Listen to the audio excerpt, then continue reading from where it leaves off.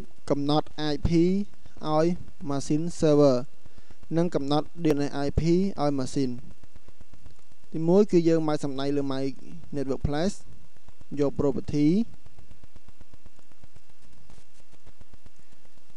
បន្តមកទៀតឬក៏យើងអាចចុចនៅលើចំណុចនៅលើ task bar ក្រោមនេះដែលមាន connection network ខាងក្រោមអញ្ចឹងគឺខ្ញុំសិក្សាទៅលើមើលខាងខាងលើ network option នេះទៅអញ្ចឹងនៅក្នុងវាមាននៅក្នុង computer របស់ខ្ញុំមាន network connection network ដល់ទៅ3 អញ្ចឹង connection មួយនេះខ្ញុំវាមានរូប slate នេះរៀងភ្លឺខៀវខៀវខៀវខៀវដល់នេះរៀងកម្ៅបានថាវា disable បិទមិន connection មួយហ្នឹងត្រូវបានបិទប៉ុន្តែ connection មួយនេះត្រូវ enable enable ត្រូវបានបើកអញ្ចឹងខ្ញុំសិក្សាលើ connection 2អញ្ចឹងខ្ញុំចាប់ដើមកំណត់ IP ឲ្យ connection local area network 2អញ្ចឹងខ្ញុំអាចដាក់ឈ្មោះវាបានមកសំដៅលើវាមកយកពាក្យថា rename ហើយខ្ញុំដាក់ឈ្មោះថា talent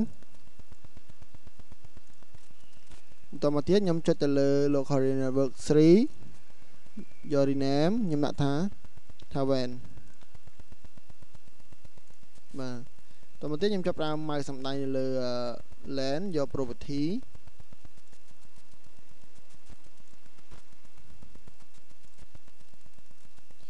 ចឹងត្រង់ចំណុចនេះគឺថា show icon បានន័យថាវាបង្ហាញ connection នៅត្រង់ test បានក្រោមនេះបើយើងដោះចេញគឺវាអត់បង្ហាញទេ ចឹងក្នុងការកំណត់ IP ទាំងអស់គឺយើងធ្វើកំណត់នៅក្នុង IP ត្រង់ពាក្យថា internet protocol TCP IP ហើយយកពាក្យថា property ចឹងបើសិនយកលក្ខណៈជា option IP មានន័យថាគឺយើងទទួល IP ពី DHCP ដោយដោយស្វ័យប្រវត្តិឬក៏ចេញពី DHCP នៅលើ router ដែលយើងបាន configure តែចំណុចកន្លែងនេះយើងត្រូវ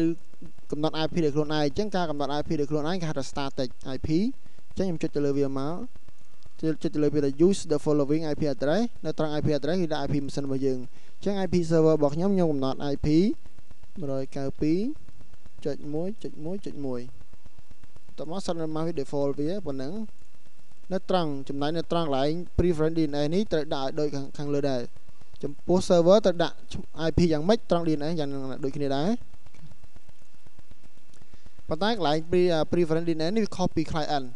បើសិនជា client វិញគឺខុសគ្នាកន្លែងហ្នឹងណាបាទអញ្ចឹងខ្ញុំសុំកំណត់ IP ត្រង់ DNS server តែប៉ុណ្្នឹងទេខ្ញុំអូខេ close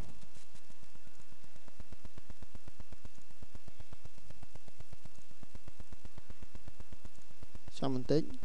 វាកំពុងតែ refresh